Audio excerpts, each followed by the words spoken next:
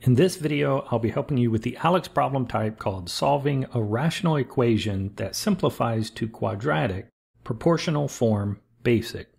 We're asked to solve this equation for x and told that we may have one solution, more than one solution, or possibly even no solution. So when we get to the final steps and we have potential solutions, we'll talk about how to go back and check to make sure that those potential solutions are actual solutions. And in this example, I want to have a process that I can use in multiple situations, and I want to remove these fractions to make it easier to solve. And the way that we do that is to identify the lowest common denominator between our two denominators here. Our lowest common denominator would have to have a 5x minus 18 term and an x term. And with that lowest common denominator, I know that I can cancel out all of the denominators if I multiply both the left of the equation by the lowest common denominator as well as the right. So I'm multiplying both sides by the lowest common denominator.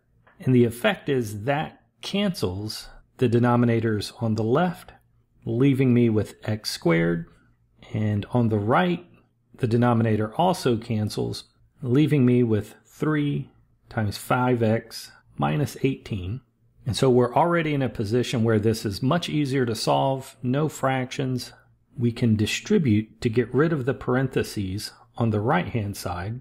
3 times 5x, 15x, 3 times negative 18, a negative 54.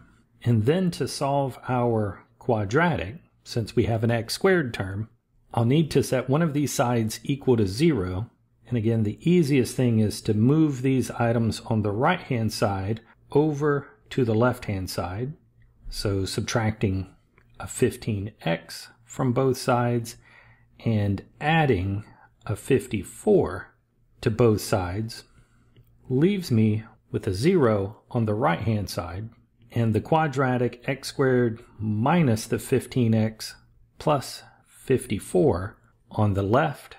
To solve from here, I would need to factor this quadratic. We can use trial and error.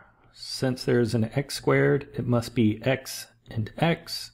The 54 means our choices are 1 and 54, 2 and 27, 3 and 18, 6 and 9, and since I want to get a negative 15x in the center, I can use a negative 6 and a negative 9.